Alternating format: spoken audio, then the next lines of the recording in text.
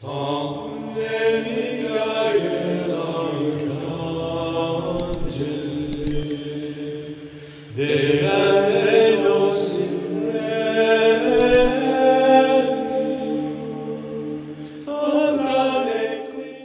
back everyone. In this video, we're going to look at a broad overview of how the Quran was transmitted, and in doing so, we will present some more challenges to modern Muslim claims about its preservation. But before we get into that, let's look at the word Quran itself. Many Muslims want to insist that the word means recitation. First of all, Quran means recitation. The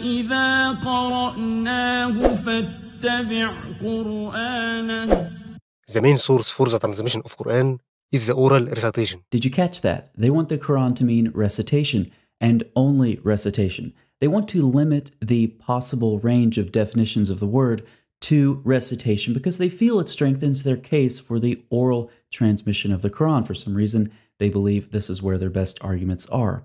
However, about the word Quran, Yasir Qadhi states, the most popular opinion, and the opinion held by Tabari, is that the word Quran is derived from qara'a, which means to read, to recite. Quran thus translates as the recitation or the reading. Now, this is nothing new except to some Muslim apologists, I suppose, but it's been long acknowledged that Quran can mean read or recite. Let's look at a couple examples. It's a Quran that we have revealed in portions so that you may read it. It's a discourse that can be read. It's a Quran that can be read. And it's a book of which the verses are made plain, an Arabic Quran. So translators acknowledge just what Yasir Qadhi said. Quran can mean reading or recitation. It can be used even in parallel with a book or along with the verb to read. But why the uncertainty? Quran is, I think we would agree, a fairly important word for Muslims. Why does Yasir Qadhi talk about the popular opinion for the definition of the word? Well, if we look this word up on Quran Gateway, it gets a foreign word tag. It turns out Quran is one of those foreign words of the Quran. Arthur Jeffery, among others, has analyzed this word in depth, comparing it to other Semitic languages, concluding in his day it was largely thought to derive from Syriac, meaning the reading, and there's little doubt that the word came to Muhammad from Christian sources. So Muslims do not intentionally limit the definition of Quran in order to try to strengthen your case about the oral transmission of it. Do not say Quran equals recitation. Just admit that Quran is one of the foreign words of the Quran and its precise meaning may be undetermined. Now, with respect to the oral transmission of the Quran, how is this claim held up under scrutiny of recent scholarship? Islamic tradition argues that the Quran's transmission was firmly controlled by the practice of oral recitation. Doubts have been shed, however, on this traditional view there is mounting evidence that the Quran text, or parts of it at least, must at some stage in its history have been transmitted in purely written form without the benefit of a controlling tradition of active recitation. James Bellamy states about the variant readings that he cites in his article they're important because they prove there was no oral tradition stemming directly from the Prophet strong enough to overcome all the uncertainties inherent in the writing system. Yet another scholar, Devin Stewart, says the tradition of Quranic recitation can be shown to ignore or run roughshod over many discernible or retrievable features of the text, particularly with regard to rhyme, that must represent the oldest stage of its performance. Many of the variants may plausibly have arisen through oral transmission, many others cannot, being based on graphic and not phonic resemblance. Numerous examples are cited by these scholars. Here's one from Stewart. The transliteration shows the difference in sound, illustrating nicely Stewart's point, though of course the graphic similarities are lost in transliteration. So we have indication from the manuscripts that the oral transmission of the Quran broke down. But how early did this happen? Very early. Zayd started compiling the Quran by collecting it from leafless stalks of a day palm tree, pieces of leather and hides, and from stones and memories of men. Remember how difficult this job was. If Abu Bakr had ordered me to shift a mountain among the mountains from one place to another, it would not have been heavier for me than this ordering me to collect the Quran. Now, what was Abu Bakr thinking, making Zayd do all this work, going and collecting the Quran from various sources? If the Quran was so well preserved in the memories of Muslims, then the Caliph should have just called two or three reciters, have them sit down at a table, they recite, Zayd writes. It's as simple as that. The only problem that Zayd should have had was a tired hand from all of that writing, but that's not the case. He had to go collect the Quran from various sources, some of them written. So we have indication from the Muslim sources themselves that within about a year after Muhammad's death, the oral transmission of the Quran had already broken down. Now we all know that the standard Quran comes from the Hafs recitation. So let's take a look at the Isnad. Samuel Green made this diagram based off of the text below it, which comes from the Islamic Awareness website. Now there are several problems here, so let's talk about them. For example, we have reports that the Qurans of Ibn Masud and Ubay didn't match each other, or the modern Quran. So how could they be in the same isnad for Hafs? But for now, I want to focus on one specific problem with this isnad. Looking at the bottom left of the diagram, we know that Abu Bakr commissioned Zayd some point around 633, and already, about one year after the traditional date for Muhammad's death, Zayd already had problems collecting the Quran. And now we see the problem with this isnad. It's incomplete. Zayd used sources, and they should have isnads. Someone had to write the Quran on the stones that Zayd used, same for the leather and the palm stalks. What were their names? Why aren't they in the isnad? What about the men Zayd called on? Were their memories reliable? What were their names? Why aren't they in the isnad? From the very beginning, then, we see that the Quran was fragmented. The oral transmission broke down. Zayd had to collect the Quran from various sources. But just how fragmented was it? In other words, I want to know which surahs came from where. Which surahs were written on the stones that Zayd used, for example? Surahs 1 through 5? Maybe surahs 20 through 24 came from the memories of men. Maybe surahs 30 through 40 were written on the leather hides that Zayd collected. I want to know which surahs came from where. Muslims can't tell us. They want to act like the Quran originally went back to one single source. That's not the case. Now let's go back to this Isnad and look at some of the names on the bottom. These are very big names, of course, Uthman, Ubay, Zayd, Abdul ibn Masud, and we have good reason to think that none of these readings made it through a critical period in the history of the Quran in the early 8th century. And here we go again, featuring Caliph Abdul Malik and his general Al-Hajjaj. He mocked Ibn Masud, saying, How I wonder about him. He claimed to have read the original Quran of God. I swear by God that it is just a piece of rajaz poetry of the Bedouins. He also said, Ibn Masud is the chief of hypocrites. If I had lived in the same time as his, I would have soaked the ground with his blood. Al-Hajjaj would often threaten to kill the people of Kufa, should they not cease following the reading of Ibn Masud. And he swore that he would erase Ibn Masud's reading from the Mus'haf with a rib of a swine. So let's compare and contrast the opinions on Ibn Masud.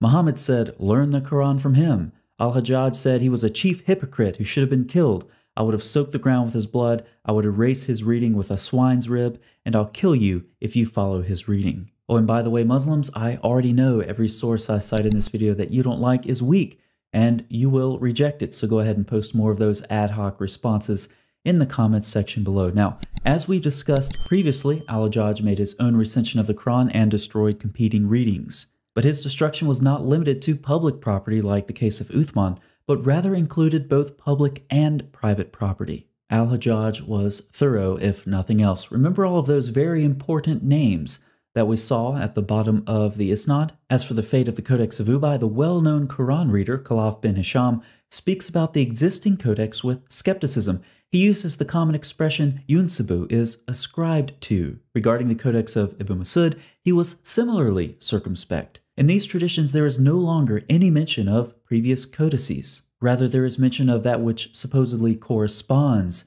to the alleged reading of Ubay or Ibn Masud. In other words, codices containing the older recensions ceased to exist at the time. By the end of the 2nd century AH, any mention of an Uthmanic codex was strongly distrusted. And of course, by the end of the 8th century, as we've previously discussed for Malik bin Anas, the Uthmanic Codex has disappeared. Now, as a side note, Muslims have known about this for a long time. After all, we're reading Muslim sources.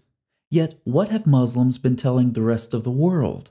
They've been telling us that they have the Uthmanic manuscripts until recently. Muslim scholars Ihsanoglu and Altikulac state that one of the most important questions of Quranic history is the whereabouts of the Mus'hafs attributed to Caliph Uthman, and whether any of them have reached the present day. Unfortunately, we do not have a positive answer to this question. In our view, this situation is one of the greatest weaknesses of the Islamic world throughout history. They further describe how they would like to publish the Topkapi manuscript as either one of Uthman's personal manuscripts or one of the manuscripts that he sent out to various cities, but they can't do that. Now, why the lack of early manuscripts, Muslims?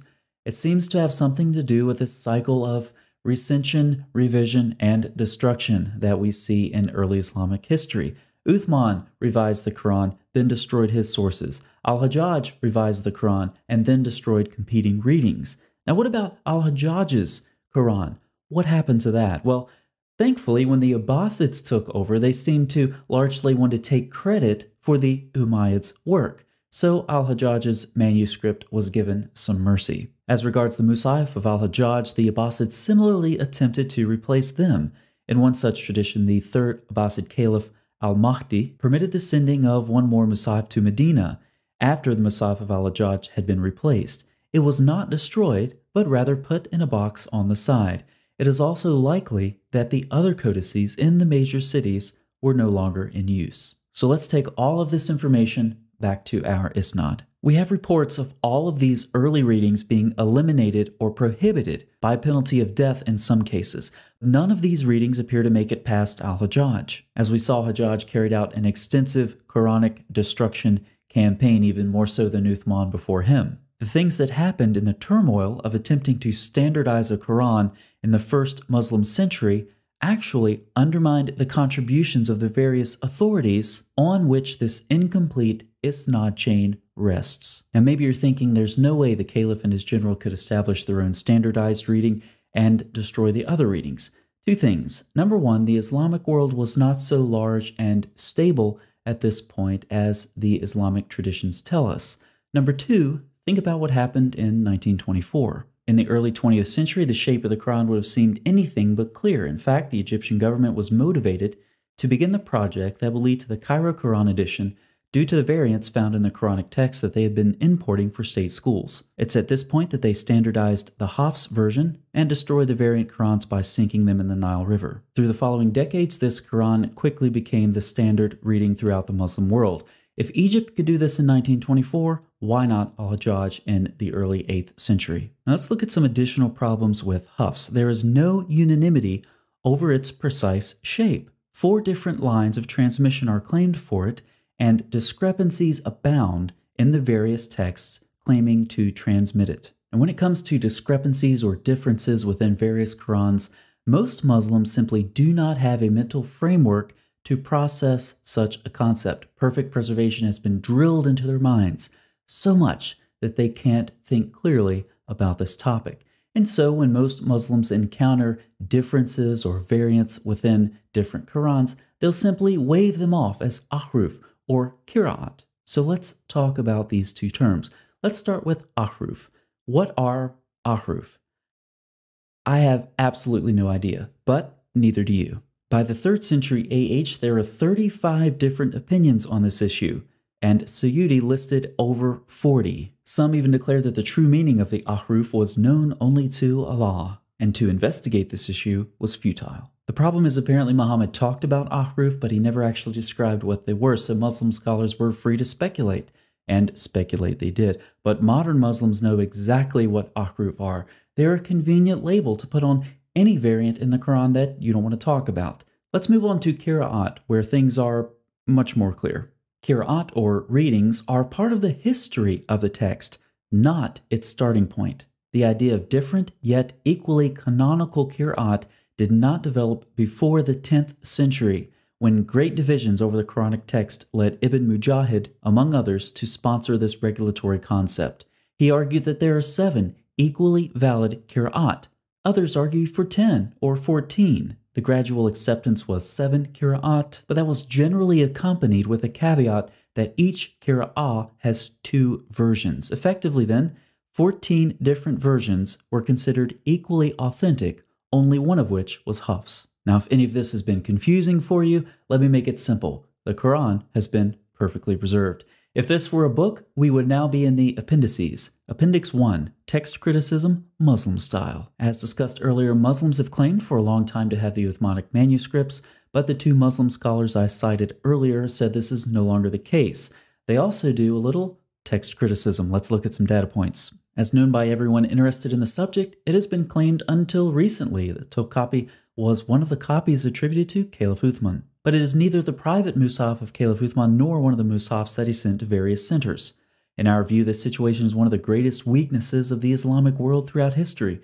There are over 2,000 instances where there is dissimilarity between the Topkapi and the Standard. They were going to make a critical edition of the Topkapi with the Tashkent manuscript, but it would not yield a healthy result. It was missing two thirds of the text referring to the Tashkent and had been tampered with. The Topkapi is an excellent manifestation of Surah 15.9. We will guard it from all corruption. So let's put these together. The Uthmanic Qurans have been lost. There are over 2,000 differences between the Topkapi and the standard text. The Tashkent was excluded from the critical edition because of corruption. Conclusion One of the greatest weaknesses of the Islamic world is also an excellent example of Allah guarding the reminder from corruption. Now, take that conclusion that an excellent example of Surah 15.9 is one of the greatest weaknesses of the Islamic world, and add that to the rest of the content that we've discussed in this video.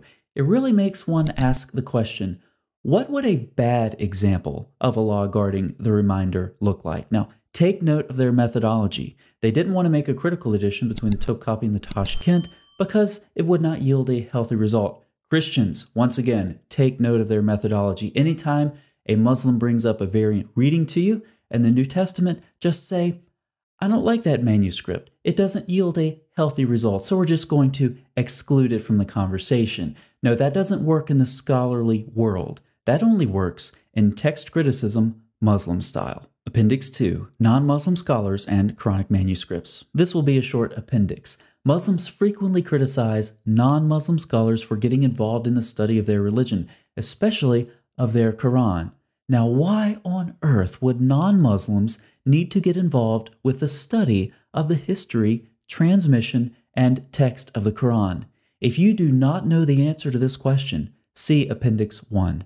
Appendix 3 The transmission of the New Testament meets the Quran's criteria for strong evidence over claims of oral transmission of the Quran. Within the context of a debt contract, the Quran states writing is more just in the sight of Allah and stronger as evidence and more likely to prevent doubt between you. Allah doesn't trust Muslims to memorize a simple debt contract. About the Quran, Muhammad said, It escapes the hearts of men faster than a camel when it's released from its tying rope you've ever released a camel from its tying rope, let me know how fast that is in the comments section. Yet Muslims claim to have preserved the Quran faithfully in memory over centuries. The New Testament, by contrast, is preserved in writing, in New Testament manuscripts, as well as quotations and allusions to Scripture made by the patristic authors. The New Testament, ironically, meets the Quran's criteria for better preservation for more reliable transmission than what Muslims claim about the Quran itself. Appendix 4 Allah will guard the reminders. We've already discussed Surah 15.9, and you can see I have two translations up for you. The first is Sahih International.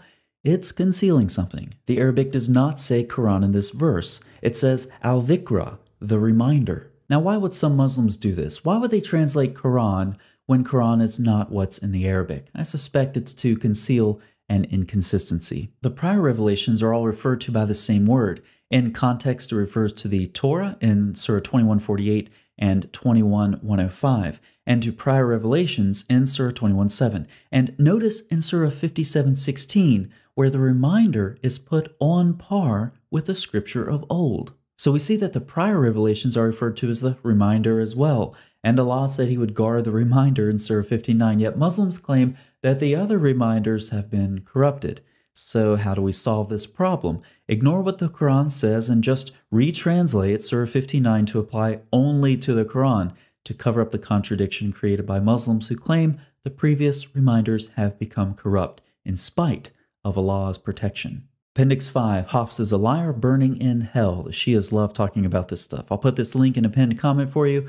We'll just go over it briefly. Asim was reliable but weak in memorization, and we have serious statements against Hafs. According to Bukhari, he was rejected, Muslim, rejected, An-Nasa'i, rejected, not reliable, and his narrations are not written. Ibn Hanbal, rejected, rejected, rejected, rejected, liar, weak, rejected, rejected, not truthful. So with respect to Hadith, Hafs is a liar And Muhammad said if you lie about him, then you burn in hell. So the person for whom the standard recitation of the Quran is named is a liar burning in hell. Appendix 6 You have lots of different Bibles, we have one Quran. I hear this one a lot, but let's take the New Testament for example. Catholics use this Greek New Testament, Protestants use this Greek New Testament. It's the same Greek New Testament. How many different Arabic Qurans do we have? You'd have to check with Hatun from DCCI. I've lost track. She keeps track of this. 20 something different Arabic Qurans, 30 something different Arabic Qurans. Who knows? And how many different readings do we have? We talked about this earlier. Just pick your number 7, 10, 14. Sometimes a single reading can have two versions. Oh, but it's Christians with their single Greek New Testament who have a problem. I don't think so. Appendix 7 Muslims intentionally downplay the variants that led to Uthman's recension, but the differences were significant. David Powers has collected a number of traditions, and he cites the primary sources in his footnotes. You can pause your screen to read this if you like, but you have two groups of men differing over the consonantal skeleton of Surah 2. Hudayfa's face turned red. He stood up, ripped his tunic in two, and declared he would ride to Uthman, and he did. He advised him about the gravity of the situation and warned that if the caliph did not take immediate action, the enemies of Islam were on the verge of striking a fatal blow to the new religion. Contrary to modern Muslim claims, the early Muslims indicate over and over that the differences in the early Qurans were severe. They were of such a nature as to cause the first Muslims to accuse one another of infidelity. They brought Muslims to the verge of civil strife and were so serious that they could only be solved through the systematic destruction of all codices that did not conform to Uthman's. Muslims need to stop downplaying the fact that fragmentation, losses, significant variance, standardization, and destruction were part of the Quran's history from its earliest years. And finally, Appendix 8 Don't talk about the Quran, your Bible is corrupted. Have you ever noticed that many Muslims believe criticizing the Bible is the same thing as defending their Quran? The 10th century is a really interesting period in Muslim history. You have two conflicting things going on at the same time. We've already seen Mujahid and other scholars, and they're forced, due to differences in the Quran, to establish equally canonical but different readings. On the other hand, the eternal Quran is winning the debate over the created Quran. Now, as the Quran becomes eternal and this becomes part of Orthodox Sunni doctrine, one can easily see how it would be heretical to subject the Quran to critical scrutiny as it becomes eternal, as this doctrine becomes orthodox, the Quran somehow becomes conflated with the attributes of Allah. And so Muslim scholars instead turn their attention away from the Quran to the scriptures of the Jews and the Christians, and they begin developing their polemics. So when we see modern Muslims today exempting their own scriptures from critical scrutiny, but subjecting the scriptures of the Jews and the Christians to the same, we see them reflecting theological presuppositions and methodologies that have been deeply embedded in the Muslim mind for centuries. See you next time.